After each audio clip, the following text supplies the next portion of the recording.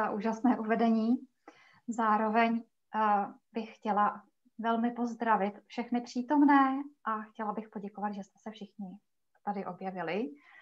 Je pro mě velikou ctí se moci zúčastnit v přednáškovém cyklu jazykovědného združení a vystoupit zde na této platformě.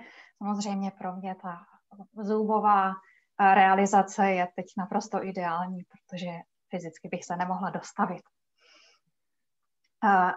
Takže přeji vám všem dobrý podvečer, vážené dámy, vážení pánové.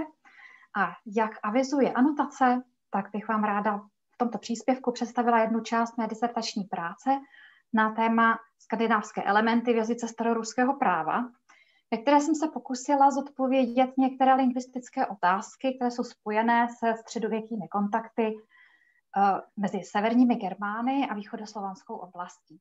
Takže vlastně ta moje práce spadala do kontaktní lingvistiky jednoduše.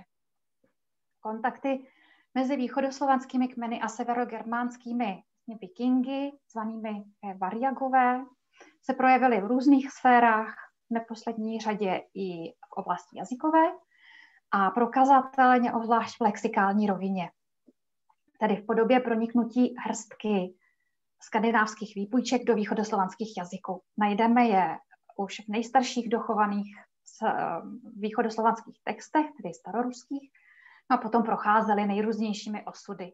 Některé se pak vyvíjely dál, třeba jak morfologicky, tak i semanticky, tvořily různé deriváty.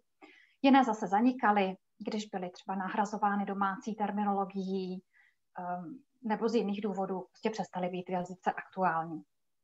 Substantivum jábědník, o kterém jsem slíbila tedy proslovit dnes tento příspěvek, a zmiňované v anotaci je také jedním z nich a zároveň je jedním ze třech staroruských pojmů, které jsem zkoumala ve své práci. Ty ostatní, tady vidíte na tom slajdu, jsou to divun a grit. E, o těch mluvit nebudu, ale mají e, společnou jednu věc a to, že se jednalo o označení pro muže, kteří sloužili v, nej, v nejužším okruhu knížete staroruského v jeho družině, v rámci níž zároveň požívali dost vysoký status. No a jak je patrno z tématu, tak mým primárním záměrem bylo zkoumat především středověké právní texty z východoslovanské oblasti, a to z jednoduchého důvodu. Oni totiž byli do posud z hlediska kontaktní lingvistiky zkoumány jen velice málo a pojednávány.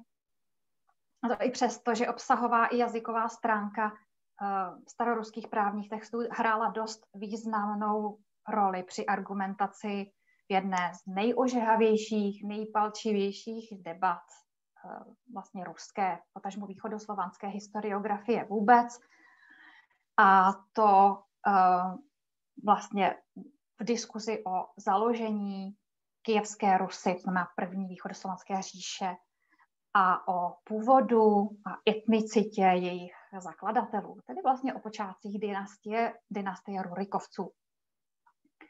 Na tuto otázku pak navazuje jedna z největších kontroverzí, obzvláště ruské historiografie, takzvaný spor o Variagy, který započal už kolem poloviny 18. století, o kterém dnes tedy mluvit nebudu, ale jenom se zmíním, že trval skoro 300 let.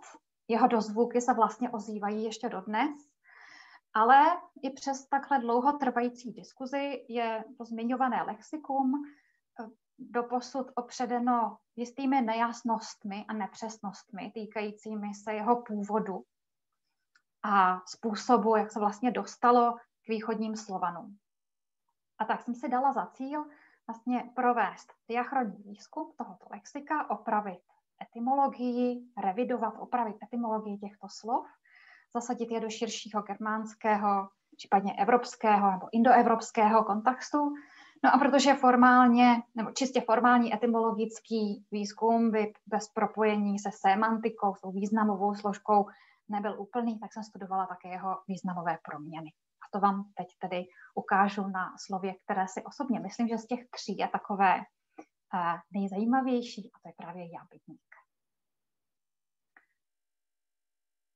Tak, diachronní přístup samozřejmě předpokládá sledování proměn na časové ose Takže těžiště mého výzkumu spočívá v jazyce středověkých pramenů v takzvané staré ruštině, což je pojem označující jazyk východoslovenské oblasti. Z dnešního pohledu se tedy vlastně nevztahuje jenom k ruskému jazykovému prostředí, ale i k ukrajinskému a běloruskému. A ta staroruská epocha bývá nejčastěji definována rozmezím eh, zhruba od 11. do konce 13. století a z hlediska historického se aspoň přibližně překrývá s kijevským obdobím. A moje práce se ale postupně rozrůstala a rozrůstala nejdříve do doby středoruské, která trvala zhruba do konce 17. století no a postupně se ukázal být nutným výzkum si ještě většími přesahy na obě strany. Jak do minulosti, tak i do uh, současnosti a k tomu přibyla značná potřeba rozšíření areálového kontextu, jak uvidíte dále. Takže zároveň ta moje přednáška dnešní vám taky ukáže um, i třeba to, co pro mě bylo trochu nečekané, jak daleko vlastně jsem se jenom kvůli jednomu jedinému slovu nakonec v uvozovkách podívala. Tady na tom obrázku je pro usnadnění takové úplně základní orientace mapka, která rekonstruuje přibližně rozlohu Kijevské Rusy v polovině 11. století. To staroruská říše přibližně kolem doby smrti Jaroslava, knížete Jaroslava zvaného Moudrý v roce 1054. Zobrazuje zároveň i jednotlivá knížectví, ze kterých se stává jenom jako pro orientaci, abyste viděli, v jaké oblasti se tady pro začátek budu pohybovat. Um, tak, co se týče pramenů, tak můj výzkum se opíral o práci s prameny z mnoha různých jazykových oblastí a časových vrstev. Začala jsem excerpcemi uh, z pramenů východoslovanské provenience, jejich základem je vlastně báze staroruských a středoruských právních a administrativních textů. Zaměřila jsem se hlavně na severozápad areálu z toho prostého důvodu, že tam byly kontakty uh, mezi východoslovanskými a skandinávskými kmeny prostě nejintenzivnější. Vedle toho jsem analyzovala právní prameny i ze středověké Skandinávie, které jsou jazykově i obsahově nejbližší, ale vzhledem k jejich množství um, nebo uh, takhle, uh, jsou nejbližší historickým okolnostem pronikání toho lexika um, do východoslovanského jazykového prostředí. Vzhledem k jejich množství, ale se tady o nich zmíním jenom stručně a konkrétně potom budu odkazovat na jednotlivé vybrané ukázky. Nebudu tady vám ukazovat celý seznam literatury, ale samozřejmě na vyžádání na konci přednášky vám ho můžu zprostředkovat. Jedním z klíčových východoslovanských pramenů pro takovéhle zkoumání samozřejmě musí úplně nutně být ruská pravda, tedy unikátní kodex práva staré Rusy, kijevské Rusy, který představuje jak důležitý zdroj informací o staroruském právu a vlastně o jazyce toho staroruského práva, tak i o vývoji vlastně státního aparátu, o vývoji soudnictví, občanského práva, trestního práva, ale zároveň i hrozně zajímavým svědectvím o životě v ruské říši eh, kolem toho 11. století. A také je příhodná pro zkoumání celého východoslovanského areálu, protože vlastně tvořila základ práva jak v Novgorodu, v Pskově, ve Smolensku, ale i třeba v litevském velkoknížectví a také v severovýchodní Rusy. A v různých oblastech bývala uspůsobována místním podmínkám, nejenom z hlediska právní terminologie, ale samozřejmě také a připojovali se k ní pak další doplňující články. Jejich text se používal také při sestavování nových místních právních ustanovení a tak dále. Na, na obrázku vlevo máte ukázku copyright je uh, volné dílo z Wikipedie. Kromě ruské pravdy jsem pak ještě excepovala samozřejmě další materiály. Uh, byly, byla to například dvě vydání moskevských říšských, říšských uh, sborníků zákonů z let 1550 a 1589. Konkrétně se jedná o zákonník Ivana IV. zvaného Hrozný, určitě znáte historiografie a zákonník také jeho syna, cara uh, Fyodora Ivanoviče. Eh, významnou složku výzkumu pak tvořily také texty takzvaného jednacího písemnictví z 12. až 17. století. Tady se jedná o soudní dokumenty, různé zakládací listiny, darovací listiny, závěti a tak dále. Eh, tyto prameny jsou obvykle signované i datované, což přináší obrovskou výhodu velmi přesného určení doby i provenience zápisu. Na to jsou psané živým jazykem, tedy nikoli církevní slovanštinou, ve které jsou staroruské letopisy. Jsem samozřejmě ale také do toho výzkumu zahrnula, protože obsahují některé zajímavosti, jako vidíte dále, které jinde nejsou. Cenným pramenem se ukázaly být i březové kůry z archeologických nálezů, především z Novgorodu a okolí. Jedná se totiž o nejstarší, opět poměrně přesně datovatelné písemné památky. Čerpala jsem ale také z různých folklorních zdrojů. V případě slova jábydník eh, to jsou hlavně sbírky přísloví. Využívala jsem i různé dialektologické záznamy. No a nakonec uh, také Národní korpus ruského jazyka, který mi posloužil ke zjištění relevantnosti a vlastně i distribuce sledovaného lexika toho slova a jeho derivátů v současném ruském spisovném jazyce. Co se týče severogermánských pramenů, tak jsem čerpala jak z východoseverských písemných památek, tak i ze západoseverských. Eh, nejvíce relevantní se při výzkumu eh, ukázaly hlavně středověké krajové zákonníky.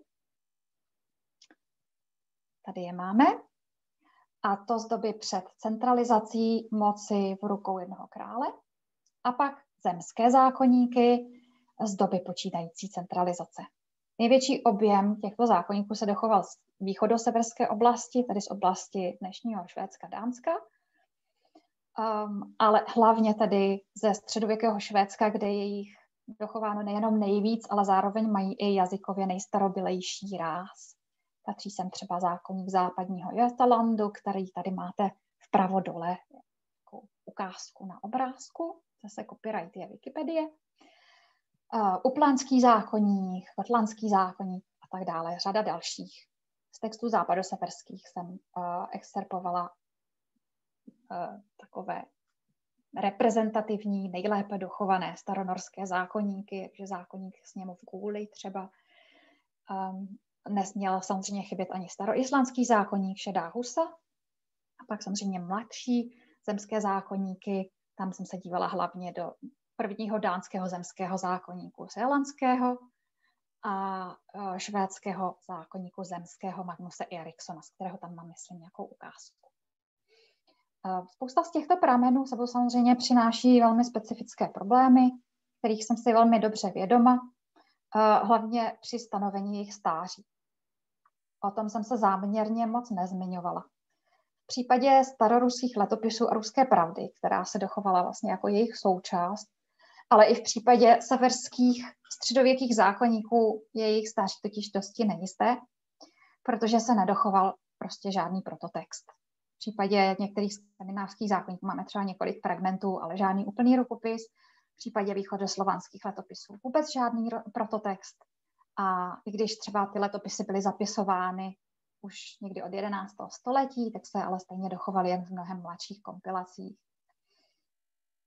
Um, a stejně tak v případě těch severských zákonníků opět jsou k dispozici většinou jen pozdější opisy, nejstarší třeba ze 13. století, některé fragmenty z konce 12. ale pořád je to doba dosti, dosti mladá. Z nich je tedy velmi obtížné určit dobu, i kdy ty prototexty vlastně vůbec vznikaly. Ale považuje se za vysoce pravděpodobné, že zákony, které jsou v nich na obou stranách vlastně obsaženy, jsou zapsané, jak skandinávské i východoslovanské, v nějaké podobě existovaly ještě dost dlouho předtím, než byly vůbec zapsány, než bylo umožněno jejich zapsání, než, než eh, se rozšířila technika, nejenom než přišlo písmo, ale než se rozšířila vlastně technika psaní na pergamen, používání inkoustu a tak dále, které umožnilo zapisování většího objemu textu. Um, ta hypotéza o tom, že ty zákony vlastně existovaly, je celkově obecně přijímaná. ve Skandinávii je doložená, doložené, že se zvykové právo dlouho tradovalo ústně, vlastně předávání z generace na generaci mezi takzvanými zákonopravci.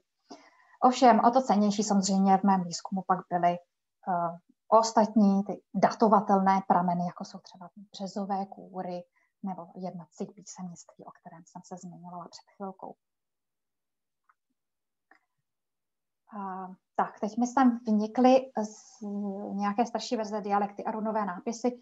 Uh, dialekty jsem samozřejmě zpracovávala z dialektologických slovníků. Uh, runové nápisy pro toto slovo nejsou relevantní, to se oblouvám, to jsem tam zapomněla umazat, protože zrovna eh, v tom případě tohoto slova tam žádný doklad uh, jsem nenalezla.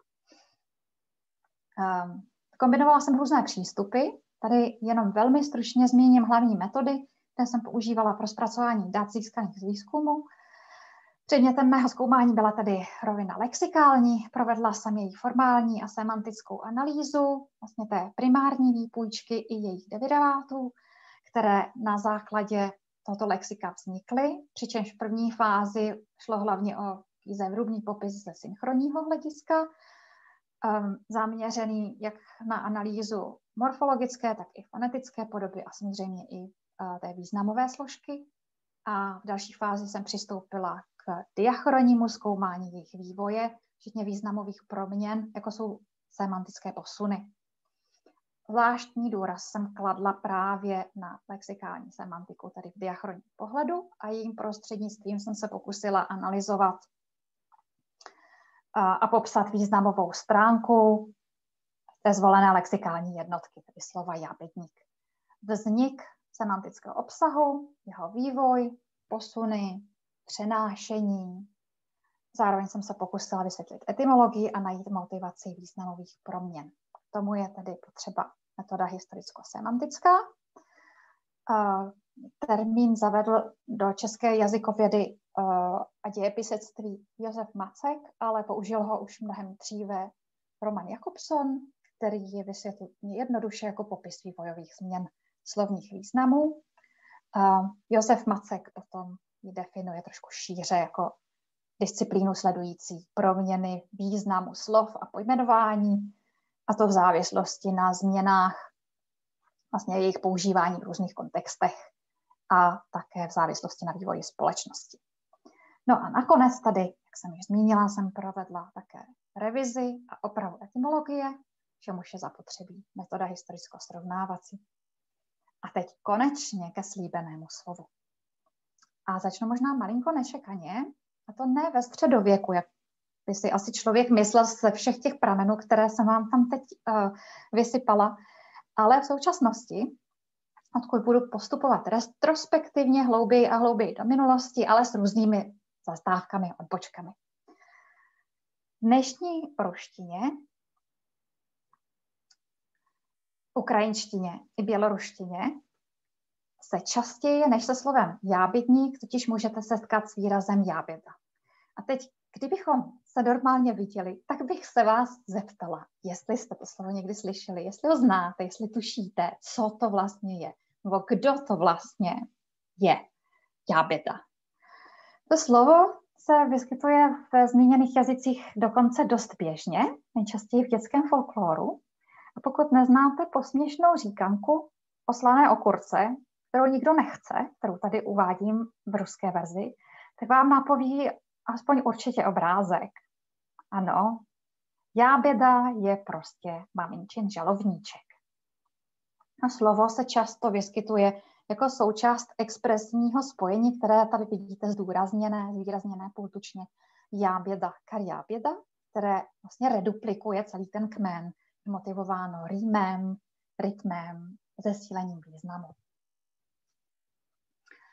Původ tohoto výrazu je velice úzce spjatý s tou starobylou výpůjčkou přijatou do staré ruštiny ze skandinávských jazyků, a to se slíbeným slovem jábědník, které je mezi staroruskými skandinavizmy obzvlášť unikátní právě proto, že je dodnes živé a aktuální, jak dokazuje ostatně i dětský folklor, který může konzervovat i dost starobylé prvky. Rozšíření v moderních jazycích ovšem ukazuje, že to lexikum utvořené s kořenem jábět se zdaleka neomezuje jen na dětský folklor. Používá se větší množství derivátů. Tady uvádím jejich přehled pro současnou ruštinu a ukrajinštinu, sestavený na základě výkladových slovníků těchto jazyků. Eh, běloruština chybí z toho jednoduchého důvodu, že lexikon ve výkladovém slovníku běloruštiny není uvedeno, takže nemám zdroje, který bych se mohla opřít. Eh, co se týče překladů, tak ty jsou tady zpracovány na základě velkého rusko-českého slovníku Kopeckého a Lešky a s mým drobným přispěním. Je z nich patrno velmi silně pejorativní zabarvení, jak vidíte. Jáběda, jábědník, žalovník, donašeč, udavač, práskač, kverulán, stěžovatel, drbna, uh, jábědnica, ženská verze, donašečka, udavačka, opět nemusím asi uh, opakovat. Uh, verbální složka jábědničat, uh, zabývat se tady činností jábědníka neboli udávat, pomlouvat, a existují další deriváty jako jábedničestvo, tedy činnost jábedníka, tedy trby, pomluvy, donašečství, klevety a tak dále. A konečně tady máme i adjektivum jábedničeský, opět odvezeného od téhož klevetnický práskačství. Je to opravdu velmi silně příznakové, velmi expresivní výraz v současných jazycích. Při ohlédnutí do minulosti najdeme nejobsáhlejší lexikografický popis derivátů s kořenem jábět v monumentálním výkladovém slovníku Vladimíra Dala, který byl poprvé vydán v 60. letech 19. století. Objem zpracování svědčí o tom, že v 19. století byla semantika ještě širší, rozmanitější.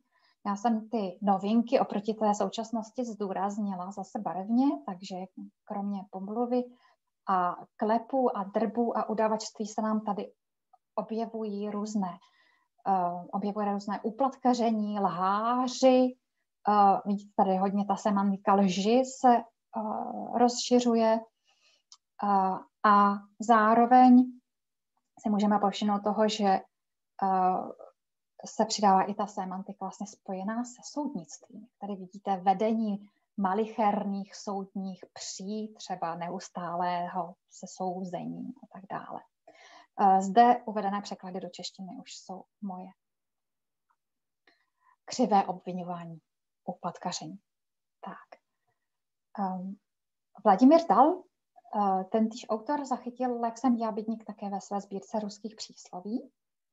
Výskyty v lidové slovesnosti reflektují jeho rozšíření v mluveném jazyce, dá se říct, mezi dosti širokými vrstvami běžného obyvatelstva, a to, jak vidíte, zase výhradně v příznakovém pejorativním významu donašeč, udavač, uplatkář.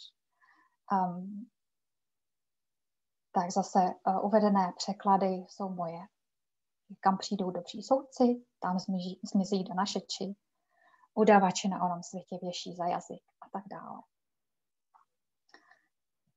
Na základě právě uvedených údajů by se mohlo zdát, že se jednalo o dosti hojně používaný výraz s poměrně bohatým slovotvorným zastoupením a naopak data získaná z Národního korpusu ruského jazyka nasvědčují spíš tomu, že výskyt toho slova jáběda nebo jábědník a dalších derivátů byl a je při nejmenším v tištěných textech poměrně řídký a selektivní. V období pokrytém korpusem má největší výsky, počet výskytů v jeho základním korpusu, tedy Lema jabida. Vidíte potom uh, poměrně lépe zastoupen je ještě jábedník, ale u dalších derivátů uh, ta četnost dosti uh, výrazně klesá. Um, ostatní deriváty, které byly uvedené třeba v tom Dalově výkladovém slovníku, v korpusu nejsou zastoupeny vůbec. Nelze přehlédnout ani statistické pokrytí výskytů podle žánru. Celých 50 výskytů, jak vidíte, je obsaženo v beletrii, kde víceméně převládají navíc díla několika spisovatelů, jako je třeba Gogol, Čechov, Turgeněv nebo Saltykov Šedrin. Ještě jsem tam zapomněla uvést Bulgakova, myslím. A, um, ale pro tyto autory, které jsem tady uvedla, je společné to, že se zabývali mimo jiné psaním komedií, frašek, satirických her. Dalších, tedy zhruba 24%, je soustředěno v odborné literatuře, to je skoro čtvrtina výskytů. A to hlavně eh, z oboru lingvistiky, historie, dějin práva a tak dále. A tohle souvisí právě s tím dříve zmiňovaným sporem o variagy a četnými vědeckými diskuzemi i pseudovědeckými diskuzemi o přítomnosti středověkých skandinavismů v těch staroruských uh, písemných památkách. Uh, fakt, že vlastně výskyt těchto lexémů, no, těchto slov v korpusu je omezený na odbornou literaturu a jinak jenom několik spisovatelů by třeba mohl naznačovat, že používání toho slova jábědník a jeho derivátu je spíše na ústupu, ale to může být způsobeno i tím, že texty dětského folkloru, který jsem zmiňovala před chvilkou, a ve kterém se zabydlel ten uh, nejfrekventovanější derivát v moderních jazycích, tedy jáběda, korpusu zastoupeny zase naopak nejsou vůbec. Při trošku bližším pohledu na beletrii tentokrát můžeme spatřit dosti zřetelný vrchol, jak vidíte tady na tom slajdu. Aha, nemůže, nevidíte můj pointer? Možná vidíte. Tak, eh, tady na začátku, no na přelomu 18. a 19. století, na začátku 19. století. No a potom najednou uh, používání ve spisovném a psaném jazyce zase výrazně ustupuje. Otázkou je, jestli lze zjistit, co mohlo být příčinou takového nenadálého boomu. No a já bych se tak neptala, kdybych se nemyslela, že ano, samozřejmě. A slovo jáběda je z pramenu doložitelné zhruba od poloviny 18. století, dřív ne. A té polovině 18. století se téměř současně objevuje ve dvou významech. Jak s neutrálním a zřejmě starším významem, nějaké žádosti podané k soudu nebo jednoduše soudní záležitosti, tak i s pejorativním zabarvením ve významu ouřada, zase uplatkář, udavač, pomluva, s tím významem, ve kterém ho známe vlastně eh, ze současnosti. Eh, je možné, že zároveň s ním se upevnil, nebo spíše bych možná řekla, dokončil semantický posun toho původního jávědníka. Jeho počátky je možné sledovat už ve starších textech, jak uvidíte dál, ale prokazatelně poprvé bylo slovo jáběda vlastně zmíněno až v polovině 18. století v Lomonosových materiálech k ruské gramatice. Ovšem tam bez jakéhokoliv vysvětlení známo. Ten nám ale pomůže vysvětlit úplně jiné dílo. A obzvlášť populárním se totiž slovo stalo právě na konci 18. století, na začátku 19., kdy Vasilij Vasiljevič Kapnist vydal satirickou veršovanou komedii Jáběda, prostě udavač nebo uplatkář. A tohle dílo podle mě mělo zásadní vliv nejenom na zachování tohoto lexika v živém jazyce, ale i na jeho rozšíření mezi široké vrstvy obyvatelstva. Ústředním tématem Kapnístovy hry, kterou tady v to první vydání vidíte na obrázku, fotografii, tak ústředním tématem je soudní nespravedlnost, úřednická korupce, které byly charakteristické pro ruské impérium a jeho rozbujelou byrokracii v té době. Uplatkaření a e, udavačství se strašně rozmohlo za vlády Kateřiny II. a Pavla I., kdy se totiž také velmi rozrostl státní aparát. Jenomže zároveň na platy úředníků nezbývalo dost peněz, no a ti si tedy obstarávali obživou různými nelegálními způsoby. Kapměstová komedie o udavačích je tedy taková komedie ze života eh, v soudním prostředí. No a tiskem vyšla roku 1798 přímo s věnováním dcerovi Pavlovi I. A uváděla se s nemalým úspěchem na divadelní scéně v Petrohradu. Ovšem, asi nás úplně nepřekvapí, že ještě ve stejném roce, jenom po čtvrté repríze, byla tato hra soudně zakázána. Soudně, podtrhuji, zakázána. A vydavateli byly navíc konfiskovány také všechny výtisky. Zákaz trval několik let, myslím, že do roku 1805, a pak se ta hra začala zase pravidelně hrát, těšila se velké oblibě, hrála se až do roku 1853, i když ta frekvence trošku klesala, protože postupně ji vytlačovaly jiné hry, jiné satyry, hlavně Gogolův revizor, který vyšel ve 30. letech 19. století, tuším kolem roku 1835. A dá se říci, že tato hra vlastně byla takovým jeho předchůdcem, Jáběda. Téma komedie už také naznačuje původní význam toho slova jáběda, jábědník, který je spojený se soudy. A ten je nutné hledat tedy mnohem hlouběji v minulosti ve staré ruštině. Slovo jáběda, které se na první pohled zdá být tím původním základním tvarem, od kterého jsou odvozeny ty ostatní, je ale ve skutečnosti derivát. Jeho rozšíření a používání je pravděpodobně výrazně mladšího data než ostatní substantiva z této skupiny. A nejstarší dochované záznamy, které najdeme ve staroruských literárních památkách, no, písemných památkách, vlastně všechny obsahují pouze substantivum jábědník jako původní ve dvou variantách, které jsem tady napsala, pro jistotu je přetranskribovala. Ta starší je z T a mladší je z D. Teprve od tohoto variant, substantiva se pak vlastně derivovaly další, další výrazy a i ostatní slovní druhy. V letopisech se slovo jábětník vyskytuje ve většině případů ve svém původním neutrálním významu, jako osoba s nějakou úřední hodností, úředník, zvláště nějaký soudní úředník, ale i vyšetřovatel, veřejný žalobce, který nej, s největší pravděpodobností měl um, pravomoci i vybírat daně. A pravděpodobně se toto označení používalo právě pro knížecí výběrčí daní, případně i pro personál dohlížející ve vězení, podobně jako staroruští byřici, což je uh, pojem té staré ruštině, který je poměrně úzce s tím zpět. Um, Jábitník uh, tady původně označoval funkci osoby blízké knížecí a tedy vlastně i soudní moci a pravděpodobně měl dosti vysoké společenské postavení, vysoký status. Podle historika práva Vasiljeva uh, mu odpovídá třeba staročeský právní termín sok, známý i z jiných slovanských jazyků a uh, používaný vlastně také uh, místy ve staroruských textech.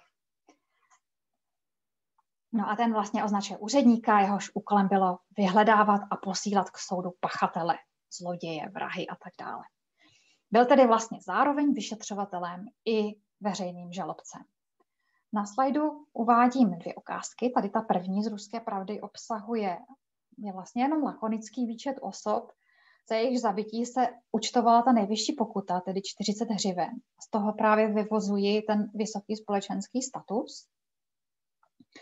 A tady z druhé ukázky, z prvního novgorodského letopisu starší redakce, ze zápisu k roku 1218. Tedy není to zápis z roku 1218, ale k tomu dotyčnému roku.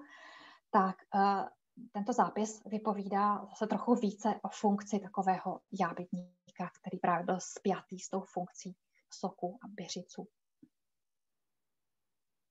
Zmínka o staroruském jábytníkovi se dochovala také v několika zápisech na březové kůře, konkrétně ve třech dokumentech, zatím jsem je našla, a v těch se vlastně úplně pokaždé vyskytuje ve stejném spojení, které trochu proto působí jako ustálená fráze. A to spojení je poslati, poslat jápětníka, tedy poslat za někým, pro někoho, možná bychom i mohli říct na někoho, toho úředníka. Všechny tyto tři nápisy nebo nálezy pocházejí ze stratigrafických vrstev z 12. století, z konce 12. století, a ten kontext, ve kterém se jábitník objevuje, by asi možná už mohl předznamenávat a vysvětlovat semantický posun od neutrálního úředníka směrem k nějakému více expresivnímu, handlivému označení. Tady uvádím pro ilustraci jeden z nich, to taký stručný dopis, ve kterém si novgorodský pisatel stěžuje na konfiskaci majetku dvěma soudními úředníky, které zcela evidentně kterou zcela evidentně považuje za nějakým způsobem nespravedlivou. A i když ta semantika s pejorativním zabarvením ještě není v těchto dokumentech prokazatelná zdaleka, tak ten kontext by ale už mohl naznačovat směr nebo předznamenávat směr, kterým se ubírala, byť třeba až později. Samozřejmě v případě, že to spojení poslati, poslati jábytníka by bylo uh, idiomatické, což nevíme, tak by bylo o to obtížnější vlastně určit přesný semantický obsah toho substantiva. Jinak uh, v této době, na konci 12. století, stará ruština uh, disponovala jiným, široce rozšířeným domácím výrazem pro označení donášení pomluvy nebo křivého obvinění. A to bylo femininum, které asi nemusím ani vám tady psát, protože eh, ho identifikujete femininum kleveta.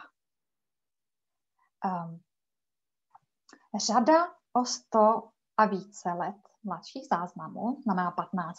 16. století, ale už uh, nasvědčuje tomu, že výběrčí daní, knížecí výběrčí daní nebo soudní nějaký úředníci s titulem jábytník nebyli příliš oblíbeni a že posun významu toho neutrálního směrem k příznakovému handlivému označení, který právě souvisel pravděpodobně s tou nepopulární činností, byl už v plném proudu. Takže například v pasáži, kterou vidíte tady na slajdu z čtvrtého novgorodského letopisu k roku 1447, uh, hovoří o Fjodoru Žirepci, který byl první známý ruský falzifikátor a penězokaz. A podle kontextu by se mohlo už jednat o, o použití s tím novějším pejorativním významem. Jábytník tady zmiňovaný sice možná mohl vystupovat ještě pořád jako úřední osoba, dost pravděpodobně jako výběrčí daní, ale z kontextu vyplývá již příznakové zabarvení zřejmě postavení na roveň uplatkářům a posun, možný posun k, k tomu významu udavač, nadsti utrhač, jak vidíte, nevyskytuje se tady zrovna v úplně lichotivé společnosti.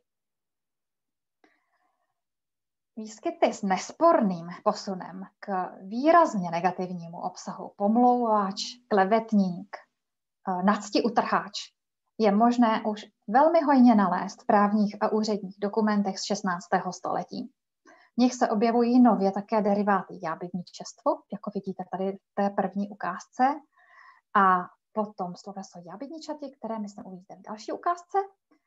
A utrha, e, nadsti utrhačství, udavačství a křivá obvinění vlastně v tomto období se už stávají tak častým tématem, carských i knížecích nařízení a právních opatření, eh, že ta frekvence velmi výrazně narůstá. Eh, v tomto příkladu zakládací listině z 29. června kníže Jurij Ivanovič za pomluvu a nadsti utrhačství ukládá kromě pokuty i nejvyšší trest.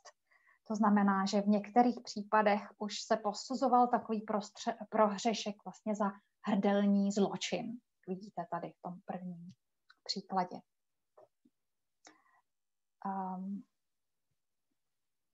další příklad je ze soudní listiny údělného knížete Vladimíra Andrejeviče z roku 1561, ve které se javědničestvo také vypočítává mezi těmi nejtěžšími zločiny. Vlastně, jak vidíte tady, pokud se někdo pokusí, tady ano, je to slíbené sloveso jábedničat, tedy pomlouvat, tak uh, má být tedy vymrskán byčem. Um, četné doklady lexika tvořeného od tohoto kořene jábět se nacházejí samozřejmě i v listinách um, Ivana IV. Vasiljeviče, kterého známe z historiografie pod přídomkem Ivan Hrozný a svědčí o rozmáhajícím se nešvaru křivého obvinování a nastěhu utrhačství Eh, se kterým souviselo i upevňování negativního významu.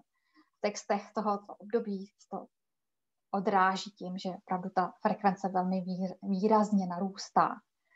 Z těch příkladů, které jste tady teď viděli, tak eh, vyplývá, že vlastně slovo prošlo ve východoslovenských jazycích od svého vypůjčení dosti významným semantickým posunem a že tato změna probíhala postupně.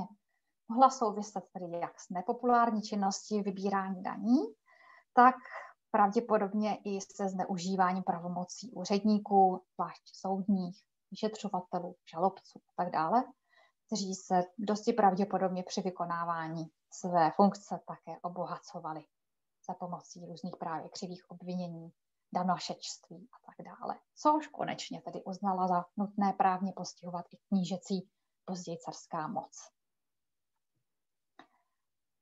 Etymologie jabidníka byla samozřejmě zpracovávána již mnohem dříve a dosti podrobně, avšak kvůli tomu, že se jedná právě o skandinavismus, který se tak nějak účastnil těch ideologických sporů o Variagi, tak existuje řada nejrůznějších výkladů a eh, diplomaticky řečeno, mnohé z nich jsou již dnes dávno překonané. Nicméně ani v současnosti není úplně výjimečné, že se badatelé na, ve spoustě existujících výkladů docela obtížně orientují a že se potýkají s takovou nejistotou, který výklad etymologie toho jabitníka vlastně je relevantní a který ne. Jako příklad mohu uvést studii historika práva Vasiljeva o použití právě termínu jabitník a sok, kterou jsem uh, zmiňovala před chvílí, ve staroruském právním systému.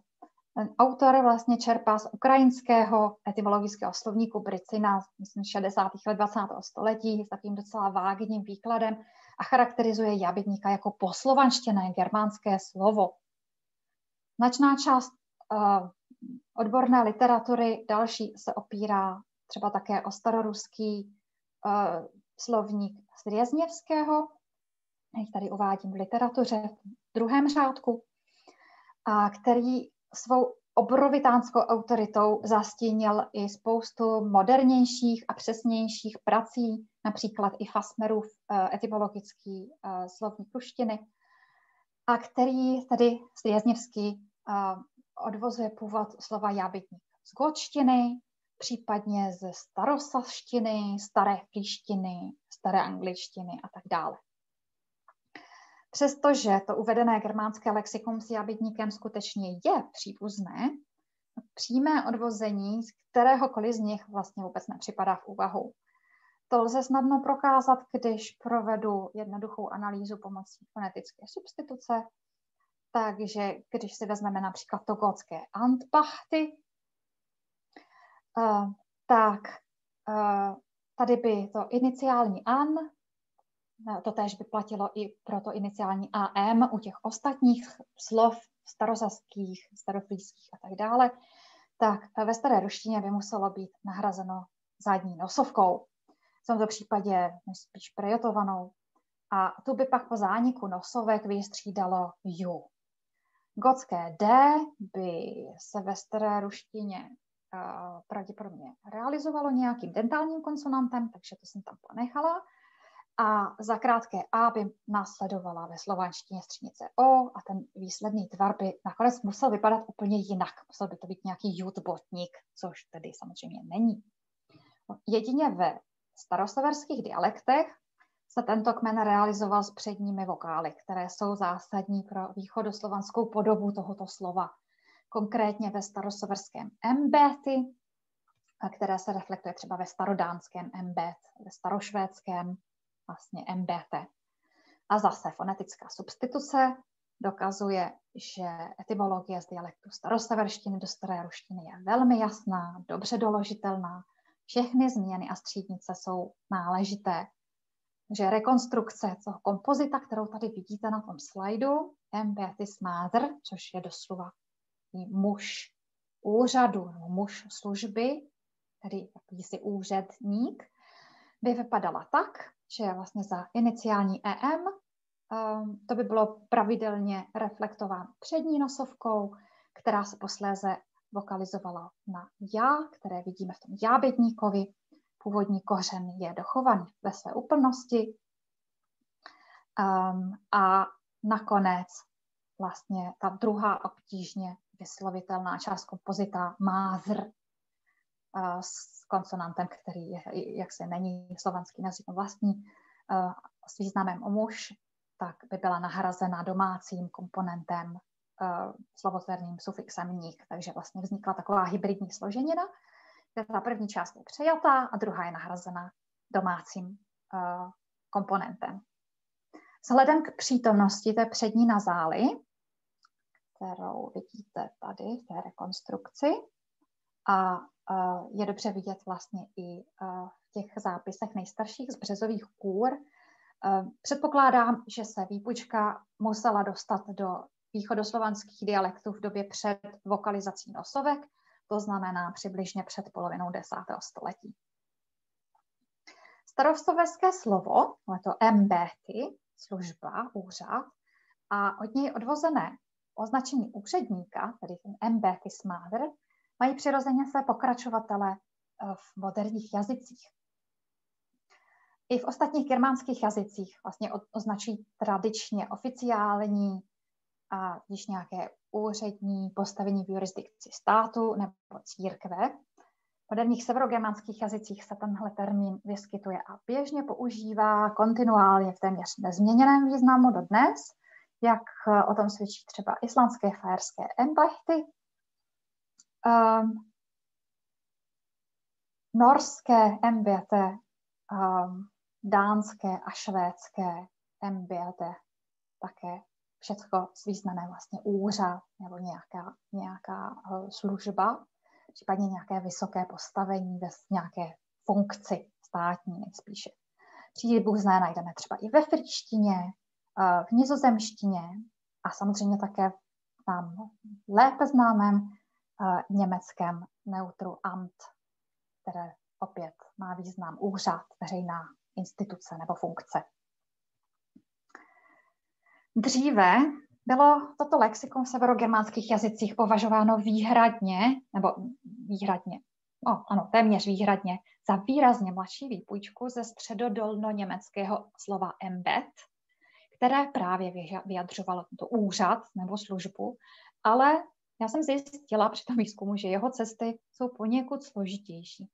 Jedná se totiž zřetelně o nejenom jedno slovo, ale o skupinu slov utvořených od téhož základu, který patří do společné germánské slovní zásoby, ale tak jako různě putoval po Evropě i po ostrovech v Atlantiku.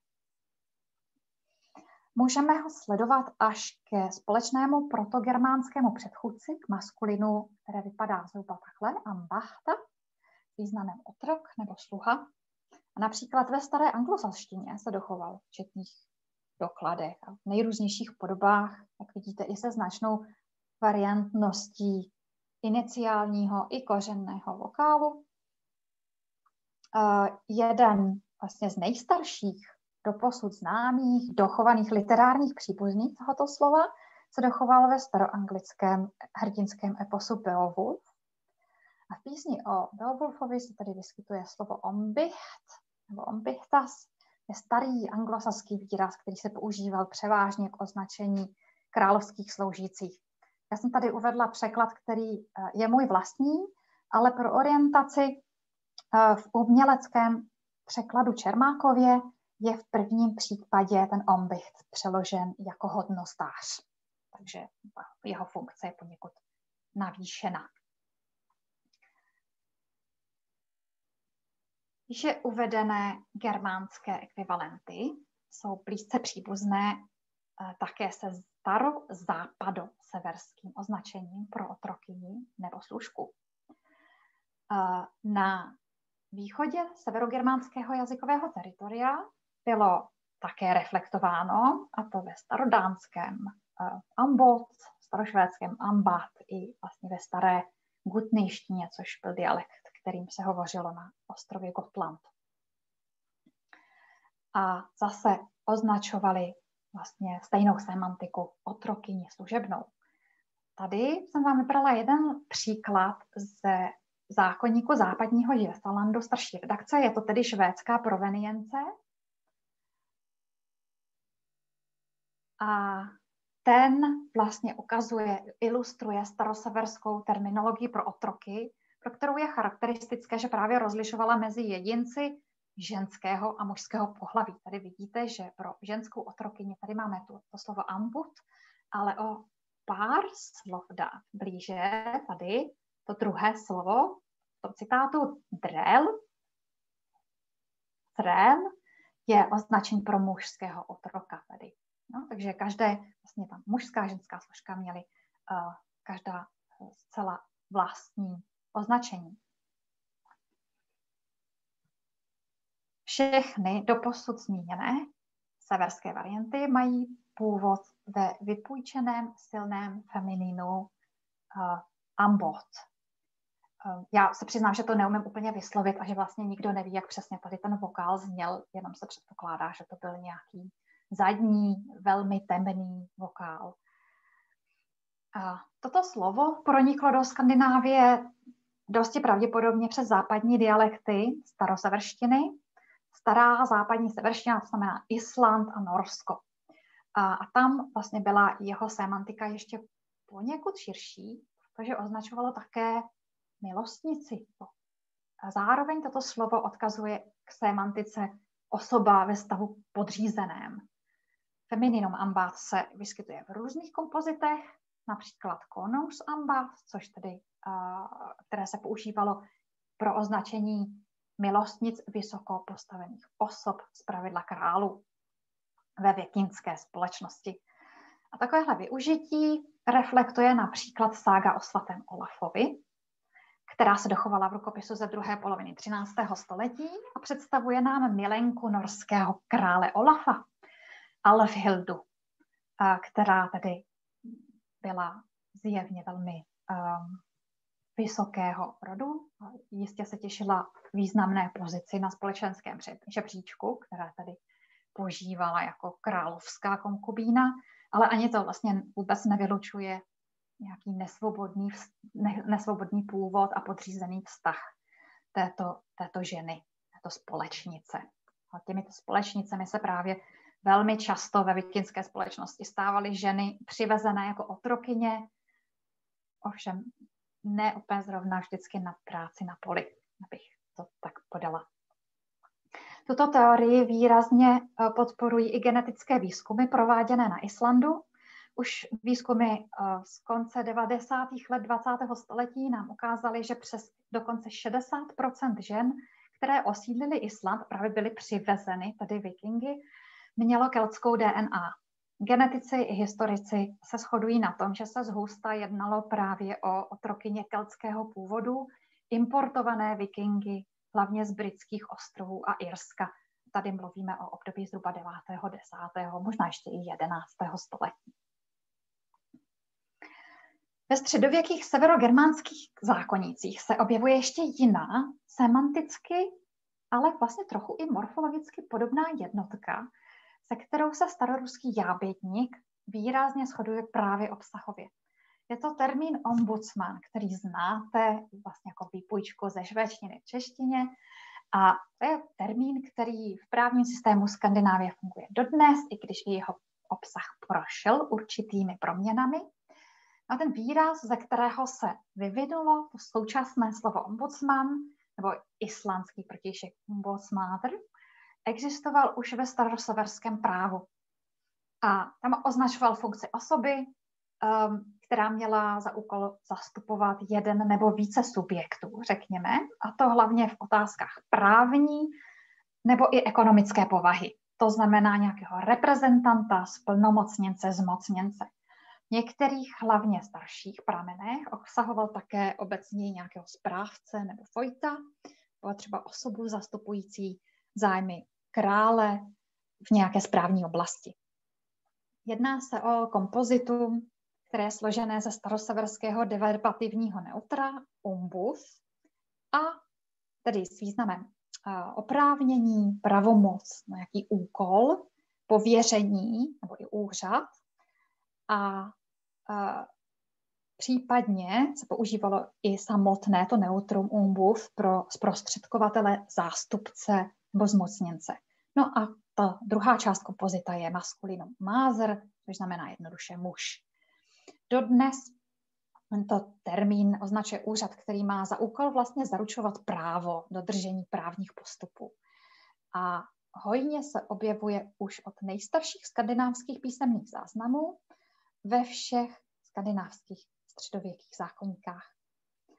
A přestože se v nejstarších staroruských pramenech pravděpodobně takhle podobně obšírná vyjádření o pravomoci a povinnostech jábětníků nedochovala, tak ze zmínek o jejich působení můžeme usuzovat do jisté míry, že náplň jejich činnosti byla docela podobná těmto staroseverským umbusmanům. Podobně jako staroruský jábětník se i tento staroseverský ombudsman vyskytoval v blízkosti vysokopostavených osob, jako krále, a třeba i biskupa. A mohlo se jednat o funkci buď to permanentní, nebo třeba i jenom dočasnou, omezenou na nějaký konkrétní úkol spojený s výkonem právní moci. To dokládá třeba uh, následující ukázka uh, z východoseverského skonského zákonníku, kde se zmiňuje tento ombudsman, zároveň i s atributem králův a označuje králova zmocněnce nebo zástupce, tedy a zároveň popisuje i uh, jeho, jeho pravomoci. Ve skandinávském středověkém právu se zároveň jednalo o svobodného muže. A tomu byla udělena uh, vlastně plná moc při právních procesech, tedy třeba na sněmu, nebo třeba při zprávě půdy. Takže z toho usuzuji, že vykonával funkci dosti vysokou. Uh, samozřejmě z hlediska fonologického by tento výraz uh, nemohl obstát vůbec zdaleka jako předchůdce jabedníka, vidíte, vlastně zadní vokály jsou v obou slabikách toho kmene umbus, ale je propojený při nejmenším s vývojem skandinávského úředníka, embecmana, protože na východě severogermánského jazykového území zcela prokazatelně došlo k jeho semantické kontaminaci a následnému splynutí s pojmem embecman. A, a ten je vlastně tím nejbližším předchůdcem ze kterého odvozujeme toho staroruského jábytníka. Substantivum embetisman, které vidíte na tomto slajdu, je doložené už eh, z nejstarších západo-severských pramenů v nejrůznějších tvarech, které jsem vám tady vypsala na tom slajdu. Eh, celkem, ta ortografie celkem nerozhoduje. Eh, s významy jako sloužící, ale také úředník, řemeslník, člen řemeslnického cechu, což je význam, který je vlastně dodnes dochovaný i v některých uh, skandinávských dialektech, řemeslník právě. Uh, někdo, kdo něco dělá rukama. Tenhle výraz vlastně slouží, svědčí o tom, že ta semantika sloužící osoby a úředníka se v podobě, um, v této podobě vlastně ve skandinávském středověku asi značně překrývala, což je ostatně docela charakteristické i pro toho staroruského jábědníka, který zároveň sloužil knížeti a zároveň pro něj vykonával i nějaký úřad, kdy úřad a služba byly jakési dvě strany jedné mince, stejné mince. Rozšíření pojmu embecman ve středověké Skandinávii zřejmě souviselo s pronikáním křesťanství a s výrazným vlivem kontinentální, zřejmě německé úřední hierarchie, která byla zpětá nejdřív vlastně s církevní zprávou, později s královským dvorem a politicky vlastně i se snahami o centralizaci území a o posilování královské moci a právě narůstání toho byrokratického aparátu a s podporou dvora a rozvinutím vlastně toho úřednického systému, rozvinutím administrativy. A předtím se proto tu funkci uh, vlastně používalo spíš také domácí substantivum, které tady vidíte, slíšlumáver. Zase je to uh, doslova přeloženo kompozitum označujícího muže, který něco dělá. Šíšla je vlastně dělat něco, zabývat se něčím. O tom, že při nejmenším lokálně splývaly tyto tvary na východě Skandinávie s tím tvary s iniciálním předním vokálem a se zadní samohláskou nám přináší svědectví například text švédského zemského zákonníku Magnuse Eriksona, který byl zapsán nebo skompilován sice až v roce 1349, ale uvádí spoustu starších nařízení, vlastně ze starších dob. Dochovala se v něm jak varianta s předním vokálem, tak i paralelní forma se zadním vokálem ve tvaru umbusman, A obě varianty se shodně používají v tom též zákonníku pro označení nějaké úřadní osoby. Semantika je pořád ještě hodně proměnlivá, v závislosti na konkrétním článku zákonníku, že to je od správce nebo zástupce jakéhokoliv svobodného muže vlastně až po vysoko postavené osoby, které vykonávaly právě nějaký úřední nebo právní úkon, pověřený, pověření králem nebo třeba biskupem. Tady jsem vybrala úryvek, který nejlépe ilustruje splývání této terminologie. Je z něj zřejmé, že vlastně oba ty výrazy byly ve švédském právu celkem volně zaměnitelné už v téhle době. Tady vidíte eh, v nadpisu bisman s tím zadním vokálem a potom samotném těle v textu toho článku už vidíte embisman s předním vokálem.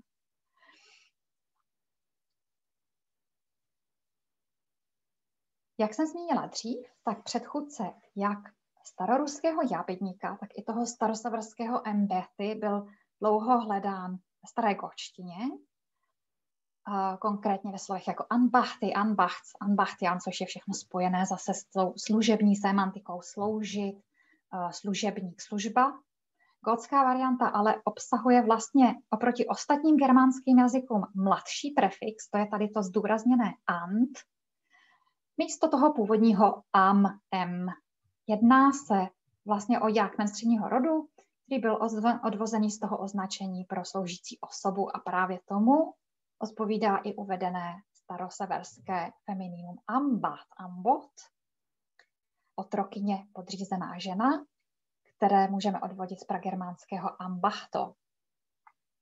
A také řada dalších kontinentálních germánských maskulin, jako staroanglické ambich, starosaské, starohormoněmecké ambacht a tak dále. A takže to gotské ambach, andbachty je vlastně takovým jenom jeho mladším, vzdálenějším příbuzným, ale nikoli předkem. Vedle těchto maskulin existovala také ještě navíc neutra v podobě uh, například starohorno-německého Andbach, ambachty, ze kterého vychází pozdější neutrum, které známe z Němčiny jako Amt, úřad, ale i staroanglických neuter Ambicht, Embecht a také výše uvedeného staroseverského embety. A tahle ta neutra zase sloužila jako pojmenování pro činnost, tedy službu úřad. Vlastně tady šlo o dvě různá substantiva derivovaná od stejného základu, která se dostala ke Germánům už v době protogermánské. A jedno z nich označovalo osobu a druhé vlastně její činnost jednoduše. Pojmenování pro sloužící a otroky se hojně objevují v podobě glos v raně středověkých kontinentálních e, zákonnicích, které byly zapisované latinsky v období zhruba 5. až 9. století v římské říši. Jsou označované tím souhrným pojmem leges barbarorum. A jsou to substantiva ambachtunia, které se vyskytuje zase ve spoustě dalších lokálních i grafických variant a označuje nesvobodnou služebnici, děvečku, a pro mužskou variantu zase maskulinum ambacht, které se používalo pro otroka i sluhu, ale vlastně už i pro služebníka s přeneseným, přeneseném významu eh, ve smyslu třeba služebníka božího. Vlastně eh, skutečně jedině na severu germánské oblasti se tento pojem osoby podřízené a nesvobodné vlastně vůbec nevyskytuje v maskulinu, ale doputoval tam jenom ve tvaru feminina, které tedy doplnilo a rozšířilo tu původní už dřív existující terminologii pro nesvobodné, znamená sloužící otroky. A později ještě se k němu přidalo neutrum, zřejmě až pronikáním křesťanství, a které označovalo činnost, tedy službu. A ten tvar staroseverského neutra embety vzhledem k nejenom semantické, ale jak vidíte, vlastně i docela eh, nápadné morfonologické podobnosti se staroseverským se starobylým umbu mohl s tímto slovním základem splynout a zároveň na něj přenést i část svého významu. Došlo k takové výměně k významu mezi, mezi těmito uh, jednotkami. Znamená sema úřadu a služby se spojilo s už existujícím sématem nějakého zmocnění nebo zastupování. konečně nejstarší stopy tohoto lexika vedou až ke keltským jazykům, konkrétně ke starobilému protokeltskému slovu ambaktos, ambiaktos, které znamená jednoduše posel, ten, kdo je vysílán, také doprovod a je složené z předložky ambi, tedy kolem, a participia perfekta uh, slovesa vlastně agety, které má vlastně proto indoevropský původ, které znamenalo chodit, provozovat nebo jednoduše prostě něco dělat. Takže doslova vlastně tohleto kompozitum označuje někoho, kdo chodí někde kolem, nebo prostě chodí a něco třeba přitom dělá. Souvisí s ním třeba také galské uh, slovo pro vazala nebo velšský výraz uh, označení pro sluhu. Vlastně oboje, ob, obě nesou poměrně výrazné séma podřízenosti. A tento výraz se dochoval v latinizované podobě uh, ve slově ambactus s významem služebník. Určitě ho poznáte také v latinském uh, ambactia, úkol, nebo v moderním latinském slově ambašáda, velvyslanectví, ale i vzkaz, poselství, zpráva. No, případně v italském slově ambassadore, velvyslanec, vyslanec, posel.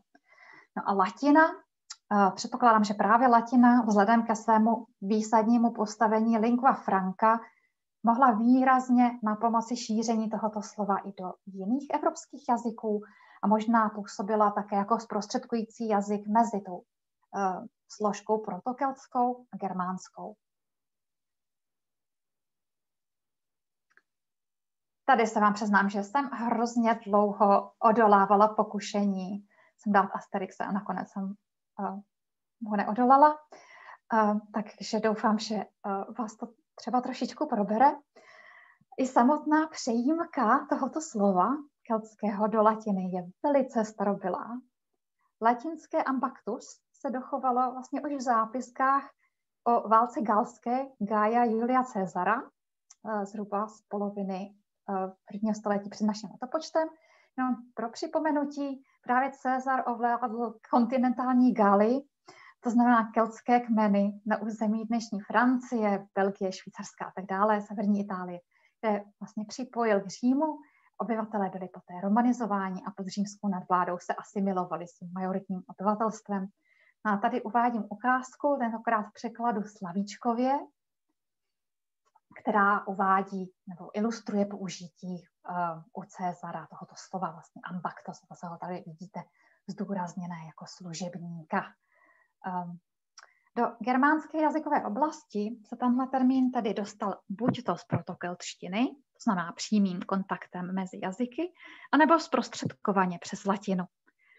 Pravděpodobně k tomu ale došlo už ve velmi rané fázi, nejspíš už v pragermánském období, a jako takový by pak vlastně tenhle ten výraz uh, mohl patřit k nejstarší nám známé vrstvě keltogermánských jazykových kontaktů.